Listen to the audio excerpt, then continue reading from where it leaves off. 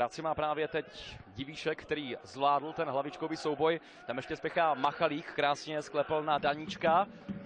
Machalík navrátil. Raději zpátky. By to možná chtělo otočit na druhou stranu, kde je úplně volný Šimko.